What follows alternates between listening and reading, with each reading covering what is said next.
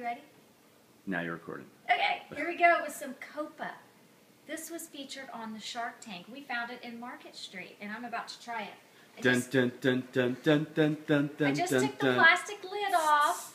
It's wine in a cup. Wine in a cup. This stuff is supposed to be. Who knows? Yeah. Eh.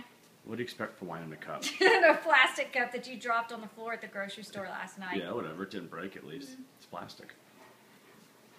All right, Shark Tank guys seem to like this stuff a lot. Do you like I mean, it? it's not bad. It's not bad. I'm not sure that, that bottle of Jordan over there, though. oh, maybe I should have done a blind taste test. That's the good stuff. I could have done a, a blind taste test. A little late now, huh?